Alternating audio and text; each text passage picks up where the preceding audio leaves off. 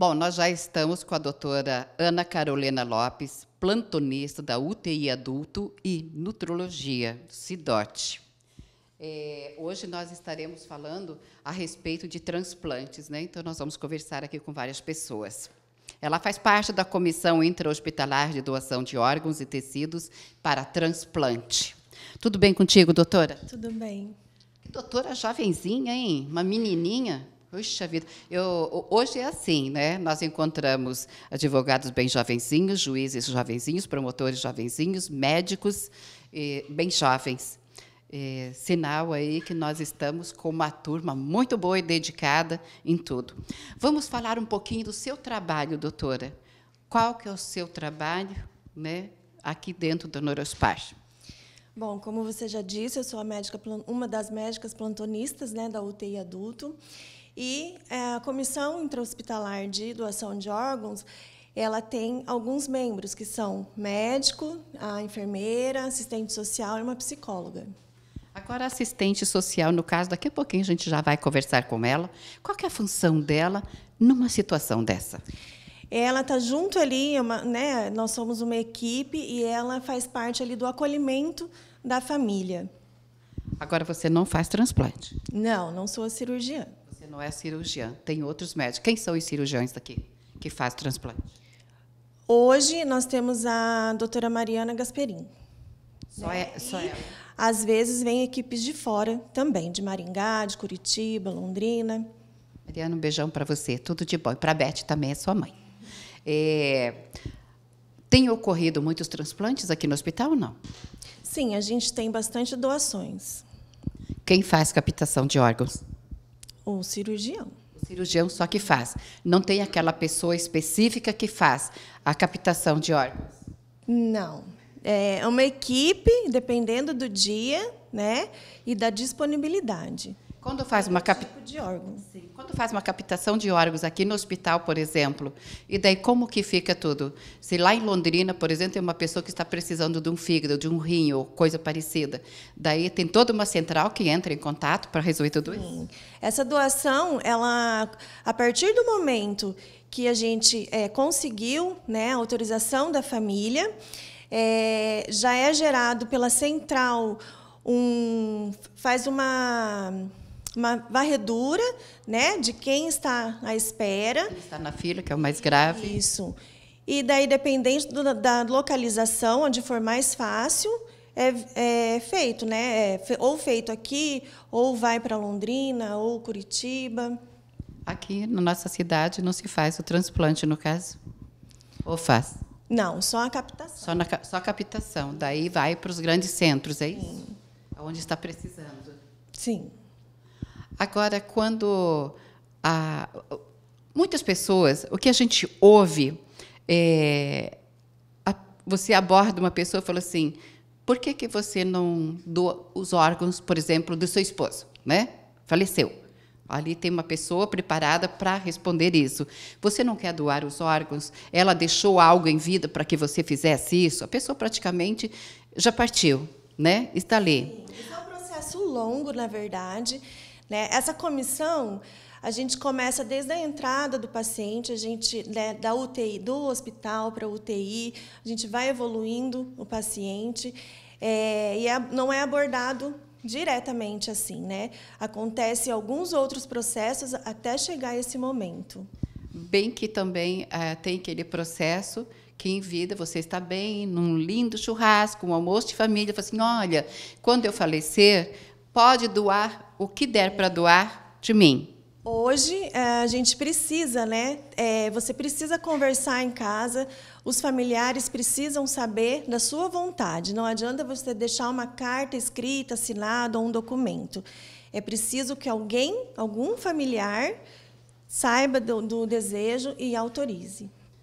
Eu até comentei esses dias com o doutor, falei assim, eu acho que seria mais seguro deixar um documento, né, tudo preparadinho, registrado, porque às vezes a família chega na hora H, não cumpre. Sim. Que já aconteceu e eu... É, é, às vezes é importante deixar isso registrado, mas você precisa falar para quem você sabe ali que na hora vai poder autorizar, vai fazer a sua vontade. O que, que você gostaria de deixar aí para o pessoal que está nos acompanhando é, a respeito do nosso assunto? É, setembro é, a gente enfatiza aí a doação de órgãos, né?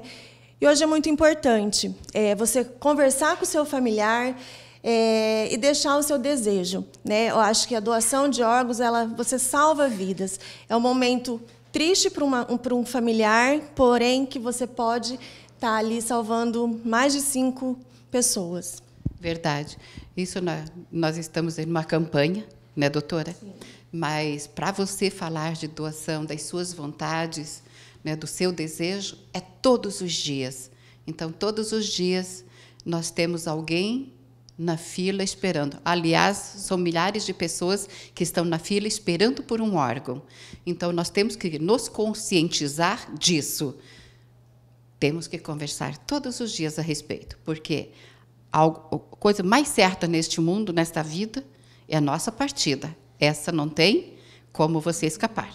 Não é verdade? Não tem dúvida. E a vida é um sopro, como todos falam, né? Isso aí. Nós estamos aqui conversando, tudo bem? Daqui a pouco a gente não sabe. Sim. E a doação é um gesto de amor. Né? Eu acho que a gente veio a esse mundo para se doar e amar. E essa é uma maneira de mostrar o amor ao próximo. É isso aí. Mas parabéns pelo teu trabalho, doutora. Que Deus abençoe grandemente. Muito obrigada. Obrigada pela oportunidade da gente estar expondo aí essa campanha tão importante. Setembro Verde. Abra uma poupança. Poupe, poupe a beça. São milhões em prêmios. Entre nessa festa. E leve com você seu sonho mais louco. Concorra a milhões. Lindos no seu bolso. Promoção Poupança Premiada Sicredi. Traga sua poupança pro Sicredi e concorra a 2 milhões e meio em prêmios em dinheiro. Bom, nós temos mais uma entrevistada para falarmos a respeito né, do transplante Setembro Verde, é, transplante de órgãos e também transplante de tecido. Né? Então, eu estou com a Thaís Godinho, ela é assistente social e ela faz parte da comissão também. Nós estamos conversando com as pessoas que fazem parte da comissão. Thaís, tudo bem contigo? Tudo bem. Mulherada linda. Eu, não, eu falei mesmo, a doutora, jovens, pessoas assim, olha, resolvido. Eu fico muito feliz de encontrar né, essas pessoas jovens e pessoas resolvidas e que fazem um trabalho assim de muita responsabilidade. É, doação de vida, é doar vida, é dar a vida para a pessoa duas vezes, eu falo, né? E no transplante. E aqueles que partiram, mas vai fazer o quê? Faz parte. Vocês sabem muito bem que eu sou uma doadora de órgão, eu tenho um rim, eu doei um rim, e a pessoa viveu com meu rim bons anos, né? Mas tudo bem. Agora vamos conversar com a assistente e vamos saber dela qual que é o trabalho dela, qual que é a função dela na equipe, na comissão. Tudo certo. Tudo bem.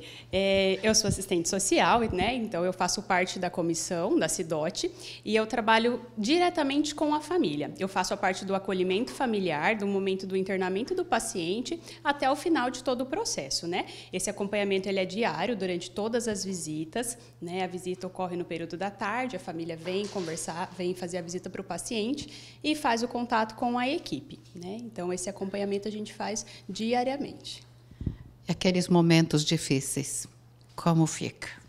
É difícil até para nós, né? Por mais é difícil que, até de falar. É, por mais que nós temos aí já alguns anos de experiência, né? Até dentro da comissão, é, nunca é fácil. Né? Eu falo, é um momento difícil para a família e para nós profissionais também. Né? É um momento bem delicado, mas nós temos algumas ferramentas aí para conseguir trabalhar com essa família, acolher da menor maneira possível, né? tentar trazer um conforto para eles, mesmo nesse momento de dúvidas, de angústia e de dor. Né?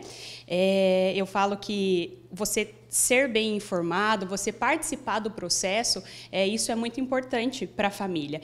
Então, isso é uma da, das principais coisas que, que é feito pela comissão, né? por mim, pela psicóloga também, que também acompanha essas visitas na UTI. A gente tenta, mesmo nesse momento de dor, trazer um conforto. Então, envolver essa família durante todo esse processo, né? manter essa família informada de tudo que está sendo feito com o seu ente querido ali, para que a gente tenha um, um, bom resultado né, do nosso trabalho, independente de doação ou não.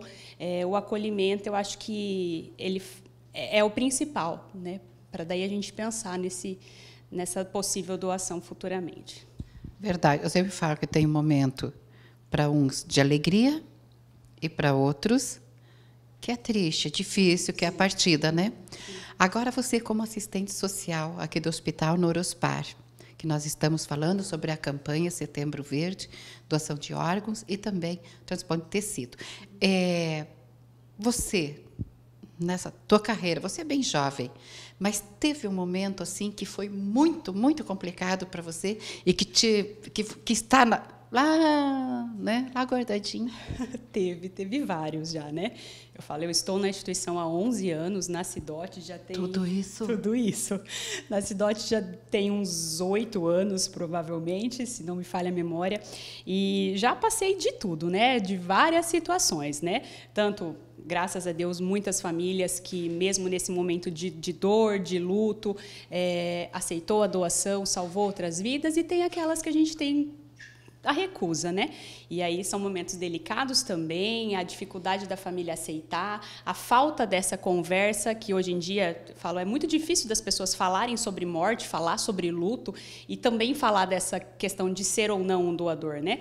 Então, nesses momentos assim, a gente já, nossa, já teve várias situações difíceis, algumas a gente conseguiu reverter, outras infelizmente não. Mas, como eu falei, a gente tem algumas armas para conseguir trabalhar com essas questões, né? Mas é, tem momentos bem delicados, bem difíceis. Briga da família, quando um aceita e o outro não, né? E aí cria aquela, aquele conflito todo e a gente tem que estar tá ali sabendo lidar com um, sabendo lidar com o outro. Isso, e respeitar né, a opinião de ambos, porque a gente não está aqui para para influenciar em nenhuma decisão, isso é algo realmente da família. Então a gente tem que saber lidar, né, com esses conflitos aí e tentar fazer com que fique tudo certo no final, né, pelo menos. É porque numa situação dessa, fala assim, olha, mãe, ele falou que era para doar os órgãos dele, mas eu não quero. Uhum, acontece? Muito, acontece bastante. Hoje mesmo, vou citar um exemplo bem recente, nós estávamos com, com um protocolo aberto e aí teve essa, esse, esse, conflito familiar. Eram duas filhas e o esposo, duas filhas somente da, por parte da mãe, né? As duas filhas eram favoráveis e o esposo não. E aí teve um conflito familiar ali, a gente teve que aos pouquinhos lidando, conversando com ambos, né, tentando escutar a postura dele, a postura das, das filhas, e aí era um desejo dela. Ver da esposa não sabia, não era algo que havia sido falado, eram pessoas muito humildes, né? E como eu falei, isso é algo que infelizmente hoje em dia não se fala tanto ainda, né? Por mais que tenha aí N é, informação, rede social que posta de tudo, mas ainda é um tabu ainda, né, para algumas famílias. E no caso dela, ela não havia verbalizado isso em vida. Então, para o esposo tomar essa decisão de sim ou de não foi bem complicado. Vamos imaginar ali, as filhas aceitavam, né? Mas o esposo não. Mas por que que ele não aceitava? O que alega diante desta situação? É, o que ele falou para nós nesse momento foi literalmente isso, dela não ter falado em vida de que ela era uma, uma doadora. Ele então, queria fazer a sua vontade. É, então ele falou, olha, como que eu vou falar por ela, né? Por mais que ela era uma boa pessoa, ela ele não queria assumir essa responsabilidade. Mas as filhas daí tinham ciência né, e noção de quantas vidas que a mãe dela poderia salvar, né, poderia ajudar. Como você falou, nós temos uma fila gigantesca, né, muitas pessoas precisando e rezando para ter esse, esse órgão, para receber esse órgão. E as, as meninas tinham essa noção né, de que a mãe poderia salvar, sei lá, uma, duas, três ou quatro vidas. Né? Mas não, não depende só dela, né? Isso, como a gente falou, é uma decisão da família, tem que ser algo de comum acordo deles. Por isso, da importância e dessa da conscientização de falar sobre isso, né? De conversar sobre a doação, de realmente deixar isso falado, né? De verbalizar isso em vida. Você acha que o transplante que aconteceu com Faustão, por exemplo, né, uma pessoa famosa, uma pessoa pública, e falaram que ele furou a fila, que tinha pessoas mais graves, né, à frente dele, aquela coisa arada toda. Daí onde que a família come, eles começaram a fazer uma campanha, né, de doação de órgãos. É, claro que sempre principalmente no Orospar, sempre está em campanha, sim, sempre fez, sim, né? Uhum. Mas você acha que com essa bandeira da família do Faustão a respeito de doação de órgãos, você acha que isso veio fortalecer toda a situação ou não? Olha, eu falo, a gente tem que tirar o lado positivo de tudo, né? Ah, eu sim. imagino que vai ajudar, sim, por ser uma pessoa famosa, por ser uma pessoa conhecida. Eu acho que aqui realmente ajuda, né? Então eu acho que é importante. Quanto mais falar sobre isso, quanto mais pessoas a gente conseguir atingir, né? E ele enquanto uma figura pública aí, eu acho que é, é muito importante. Com certeza eu acho que vai ter um peso positivo para essa questão da, da doação. Quando nós falamos, para a gente encerrar, quando nós falamos de doação de órgãos, seja o que for nessa área, nós sempre pensamos no adulto. Como que fica também o lado infantil? Olha, nós temos, né, aqui a gente já teve alguns casos, foram, acho que foram poucos, né, foram poucos, mas tem também. Eu falo que, eu acho que independente de adulto ou criança, é, a gente está pensando em vida, a gente está pensando em salvar vidas, né? Então, acho que a importância para mim, falando eu, né, eu acho que é indiferente assim. É, a gente está falando de vida, né? Então, sendo adulto, sendo criança, acho que o trabalho é o mesmo, a, o carinho que a gente tem que trabalhar, que a gente tem que estar tá ali, fazer essa parte do acolhimento com a família, estar junto com eles, eu acho que é indiferente, né? E é saber, é saber lidar, saber conversar. Eu acho que para mim é. Em algum lugar a gente chega. Com certeza, com certeza. Fala, essa, essa, essa é a nossa obrigação, né? Eu falo enquanto profissional, a gente está aqui todos os dias falando sobre, conversando, tentando melhorar sempre, né? E eu falo que o acolhimento faz sim toda a diferença, porque quem é bem acolhido, bem tratado, respeitado, se sentindo bem recebido, lá na frente isso vai fazer diferença. Agora você vai deixar um recadinho para todos que estão em casa nos acompanhando, né? Em, em, municípios, estados, nós estamos até mesmo fora, né?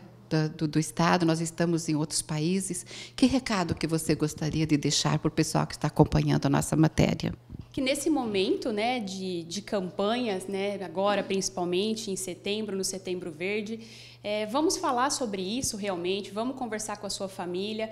É, é um assunto realmente delicado que ninguém gosta de falar, mas como a gente já conversou um pouquinho, é a nossa única certeza né, na vida. Uhum. Então, fale sobre isso, ajude a salvar vidas, a doação salva vidas. Né, e nesse momento de dor de uma família, é alegria do outro lado. E sempre pensar que você pode estar do outro lado. Né? Então, acho que é muito importante a gente realmente falar sobre isso, falar sobre a doação.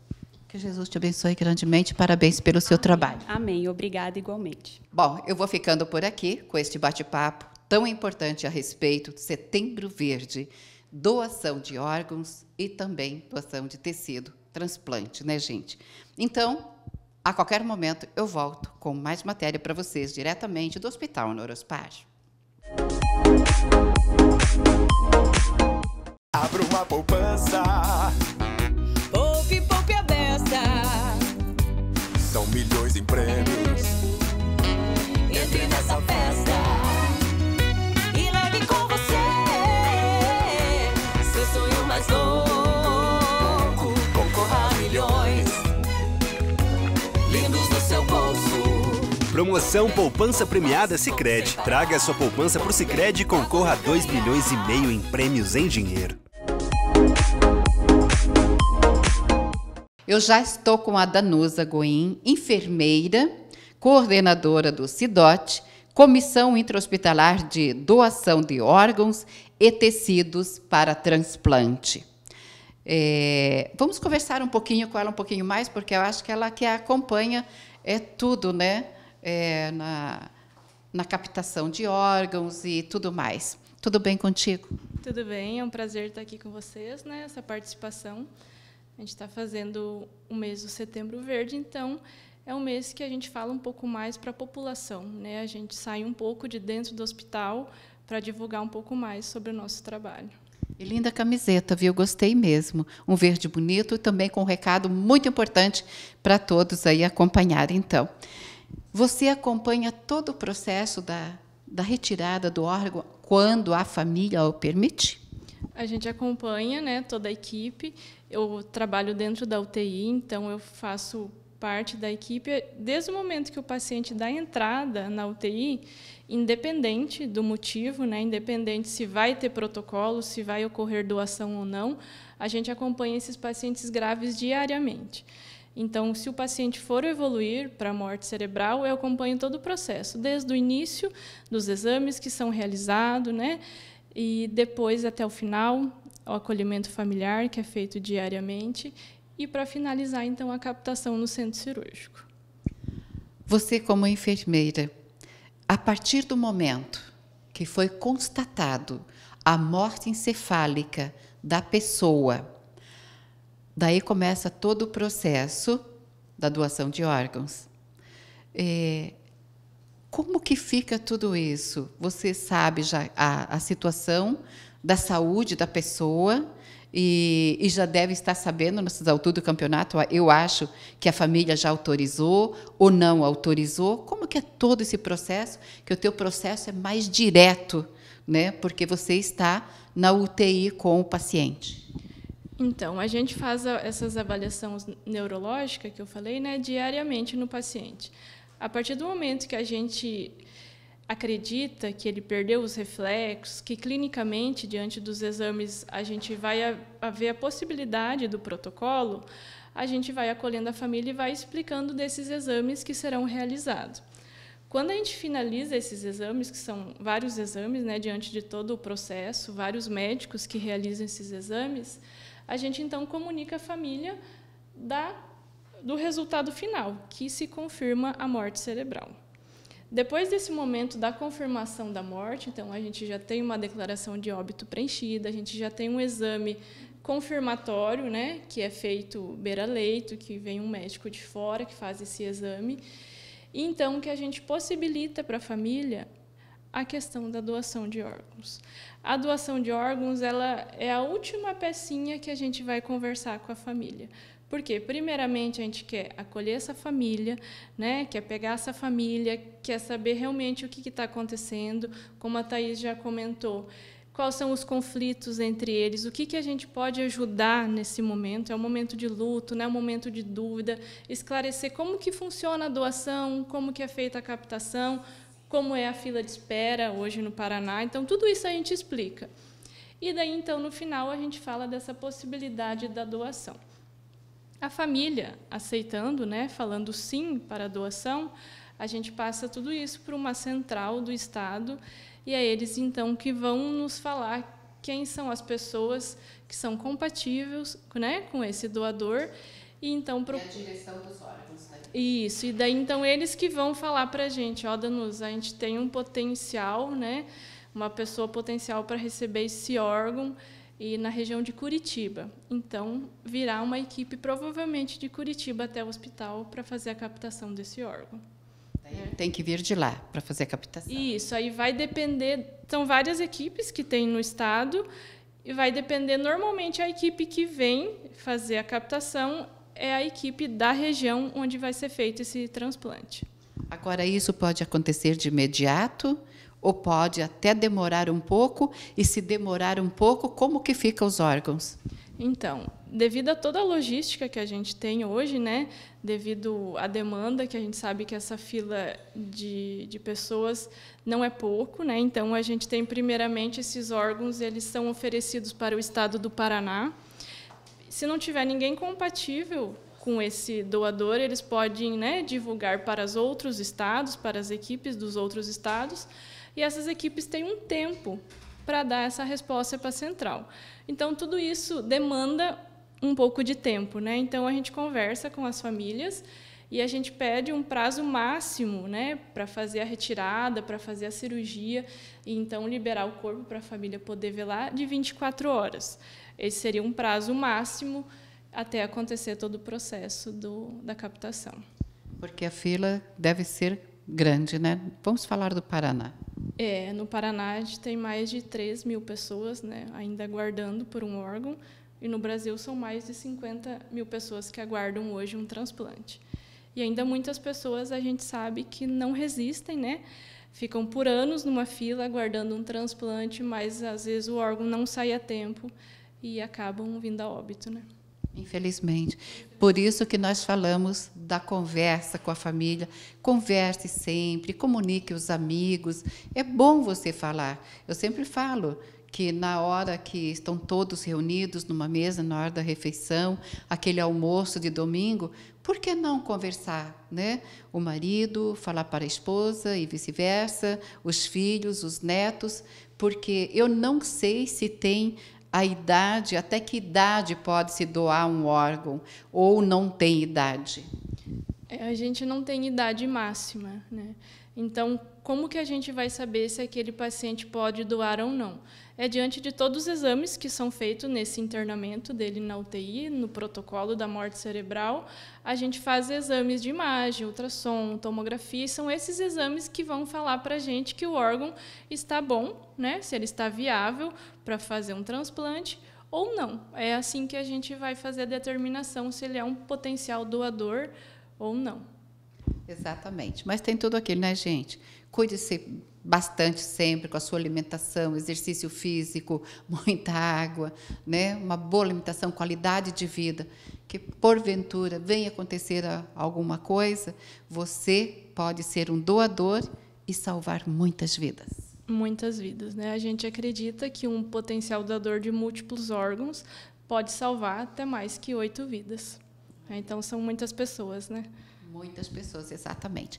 Que recadinho você gostaria de deixar aí para o pessoal? Até um conselho, um pedido né, para a família? Então, eu trabalhando nesse processo já há algum tempo, e o que eu queria né, que o pessoal falasse sobre o assunto, a gente vê que isso ainda é um tabu, que isso é muito difícil de ser falado em família, mas eu penso que, que a doação ela não é um fim, né? Essa parte da morte cerebral, ela não é um fim. Eu acho que ela é um recomeço. Para muitas outras famílias que a gente sabe que a gente tem muitos pacientes fazendo hemodiálise, né? Toda semana, isso é muito difícil. Então, eu penso nessas famílias que vão poder ter um retorno familiar, né, uma qualidade de vida com a sua família, talvez poder viajar. Muitas pessoas que a gente sabe que não enxergam, que talvez poderão né, voltar a ver seus filhos, poderá enxergar, ver a luz do dia. Então, eu penso que a morte cerebral, né, essa questão da morte mesmo, ela não é o fim, ela é um recomeço. Então, eu queria que, que vocês conversassem, que as famílias falassem sobre isso, pensassem sobre esse assunto, porque muitas famílias hoje estão né, do lado, talvez, do luto, do lado dessa possibilidade da doação, mas a gente sabe que muitas famílias estão no outro lado, aguardando por um sim, que sem um sim de uma família, o transplante não ocorre. Verdade, falou tudo. Que Jesus te abençoe. Amém. Ela fica toda emocionada, né? mas ela mexe né, com vidas. As meninas que nós entrevistamos aqui, a doutora, assistente social, nossa enfermeira. Então é isso, se emocionam mesmo, sempre trabalhando e lutando pela vida, fazendo que outras pessoas vivam, né? Gente, essa nossa matéria está no YouTube. Todas as nossas matérias, que tem 2.800 vídeos lá no YouTube. Procure, nós temos matérias de todo jeito que vocês possam imaginar, né? de saúde, e culinária e muitas outras coisas. A culinária logo, logo volta à normalidade. Inscrevam-se, curtam o nosso trabalho, porque a cada dia nós estamos levando algo diferente para vocês, interessante. E na área da medicina, a tecnologia avançou muito, então tem muitas novidades. E aqui no programa da Tamires é isso. Nós procuramos levar novidades para vocês, para que vocês fiquem conscientes do que há de bom e de melhor para a sua saúde, para a saúde da sua família, ok? Eu vou para o comercial e eu volto já.